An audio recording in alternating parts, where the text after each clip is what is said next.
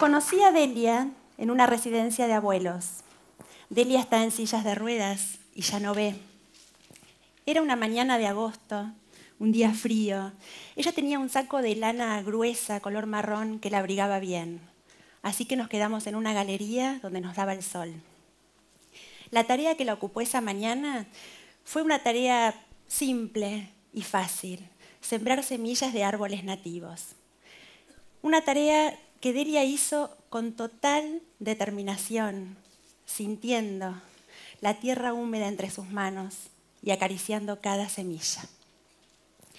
No estaba sola, estaba junto a más voluntarios, abuelos, jóvenes, vecinos, todos reunidos para sembrar, plantar y crear un jardín botánico comunitario. El momento de plantar un árbol para mí es un regalo. Me invade un suspiro puro, lento, silencioso. Pongo pausa. Tomo conciencia plena de cada parte de mi cuerpo que se entrelaza con el sentido más profundo de entrega, solidaridad y alegría. Descubrí estos momentos gracias a mi trabajo, Alianza Árboles, una organización que reúne a las personas para crear espacios verdes públicos. Así, cerca de los árboles y la comunidad, entendí lo que vale para una persona con discapacidad poder plantar un árbol, poder ser reconocida por sus capacidades y poder brindarse a la comunidad entendí lo que vale para un abuelo sentirse útil, poder embellecer su barrio, su plaza o una reserva natural que es de todos nosotros. Y descubrí que los árboles tienen este poder maravilloso, nos convocan. No importa de qué barrio somos, si vamos a la escuela pública o privada, no importa de qué generación somos o qué capacidades tenemos, son una excusa simple sencilla para encontrarnos, tan cercana como lejana por el lugar a donde nos pueden llevar como comunidad. Imaginen eh, miles de semillas, miles de árboles y miles de delias plantando en las ciudades. El lugar donde podemos llegar es una comunidad empática, inclusiva, presente, viva y positiva. Así estaba Delia el día que la vi, presente, viva. ¿Cómo vamos a entender la lentitud de un abuelo o los tiempos de una persona con discapacidad o la energía y el espíritu de los adolescentes si no nos acercamos?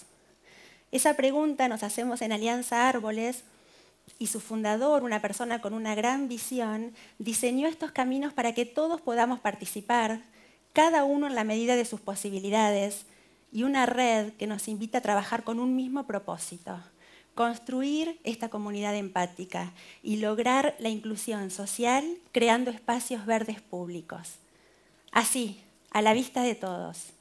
Acá es donde se hace visible la riqueza de cada uno de nosotros y acá es donde podemos innovar en la forma en que nos vinculamos, en cómo nos apropiamos de nuestro rol de ciudadanos para generar efectos positivos en el entorno, transformar la realidad y cambiar la vida de muchas personas. Así como plantamos árboles para oxigenarnos, también plantamos árboles para oxigenar nuestras relaciones. Si no fuera por este propósito, yo no hubiera conocido a Delia. Tampoco hubiera conocido a Daniel, un voluntario de nuestra red con discapacidad que tiene dificultades para desplazarse. Y una tarde lo vi caminar 400 metros por una reserva natural para ir a plantar los árboles que él había cuidado. Cuando le dije, Daniel, ¿estás cansado?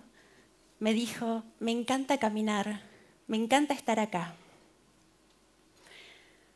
Tampoco hubiera conocido a Rafael, un nene de un hospital de niños a donde fuimos a plantar, que iba de un lado a otro para buscar sus árboles, arrastrando una mochila con rueditas y en esa mochila no tenía sus útiles, tenía el respirador artificial al que estaba conectado.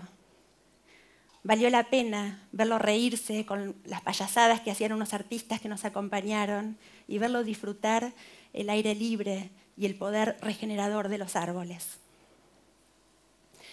Y tampoco hubiera conocido a Josías, un voluntario con discapacidad que cada vez que nos encontramos en una de nuestras actividades me dice, esto recién empieza, porque lo desea, lo necesita. Yo creo que tenemos que buscar más excusas para encontrarnos, para descubrirnos, sin importar las diferencias. Algunas están cerca, al alcance de la mano, como los árboles. La excusa perfecta para estar unidos.